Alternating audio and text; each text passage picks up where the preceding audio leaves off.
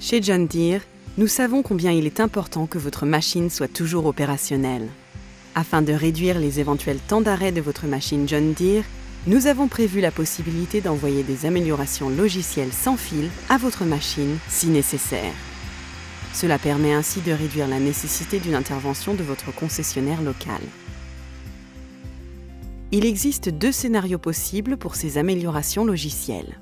Dans le premier scénario, votre concessionnaire local peut vous envoyer une amélioration logicielle sans fil afin d'éviter tout déplacement jusqu'à la machine. Dans le second scénario, John Deere vous envoie des améliorations logicielles sans fil pour mettre à jour votre machine. Dans ce second cas de figure, vous recevrez d'abord un courrier de John Deere vous informant de la nécessité de cette amélioration logicielle. Environ deux semaines plus tard, un message s'affichera sur la console de votre machine vous informant de la disponibilité de cette mise à jour logicielle. La mise à jour logicielle est un processus en deux étapes.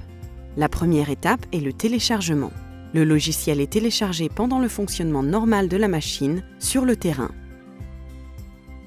La seconde étape est l'installation du logiciel. Cette étape nécessitera l'arrêt de la machine en plaçant le contacteur de démarrage sur marche. Elle peut prendre jusqu'à 20 minutes.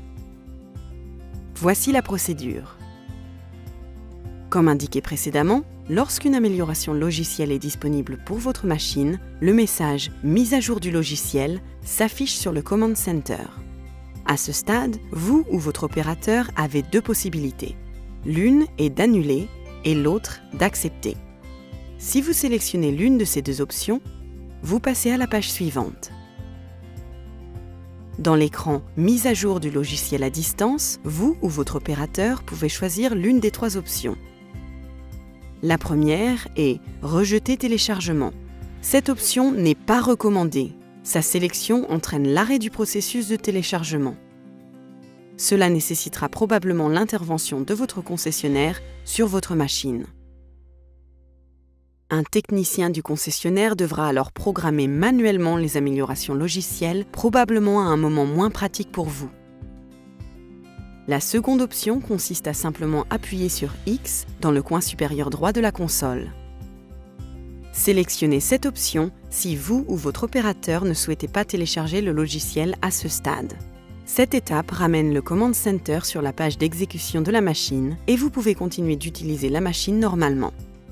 Toutefois, la prochaine fois que vous mettrez le contact, le message « Mise à jour du logiciel » réapparaîtra afin de vous permettre de télécharger le logiciel. La troisième option recommandée consiste à simplement appuyer sur « Télécharger le logiciel ». La première étape de téléchargement du logiciel débute alors sur le MTG, votre contrôleur, passerelle télématique modulaire. Lors de cette étape, la machine peut continuer à fonctionner normalement pendant le téléchargement du logiciel. Cette étape ne dure généralement que quelques minutes. Toutefois, si vous souhaitez afficher la page d'exécution de la machine pendant ce processus, appuyez simplement sur X dans le coin supérieur droit pour continuer d'utiliser votre machine. Une fois le téléchargement terminé, le message « Mise à jour du logiciel » réapparaîtra sur le Command Center. À ce stade, appuyez sur le bouton Accept pour passer à la page suivante. Notez que le bouton Installer le logiciel est à présent disponible. Lors de cette étape, vous devrez arrêter la machine et installer le logiciel avec le contact mis et le moteur arrêté. Ce processus peut durer environ 20 minutes. Si le moment ne vous convient pas, appuyez simplement sur X dans le coin supérieur droit. L'installation du logiciel sera alors reportée. Toutefois, la prochaine fois que vous mettrez le contact, vous aurez de nouveau l'occasion d'installer ce logiciel. À la fin de la journée, ou lorsque vous aurez le temps d'installer le logiciel, arrêtez votre machine. Mettez le contacteur de démarrage en position de marche avec le moteur à l'arrêt. Attendez que le message « Mise à jour du logiciel » s'affiche de nouveau sur le Command Center. Appuyez sur « Accept » pour passer à la page suivante. Appuyez ensuite sur Installer le logiciel pour passer à la page suivante où vous devrez appuyer sur Accept pour accepter les termes et conditions. Ensuite, avec le contact mis et le moteur arrêté, un point vert s'affichera. Appuyez sur le bouton de la page suivante. L'installation du logiciel débutera sur votre machine. La progression sera affichée sur la barre d'état à mesure de l'installation, qui peut durer environ 20 minutes. Important, ne démarrez pas le moteur ou ne coupez pas le contact pendant ce processus. Une fois le logiciel installé, un message s'affichera pour vous inviter à couper le contact pendant 60 secondes.